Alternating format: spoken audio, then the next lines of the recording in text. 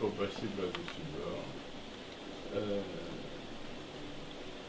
C'est une escale qui sera peut-être un peu plus longue que les autres, mais nous, nous poursuivons avec force et vigueur notre trajectoire.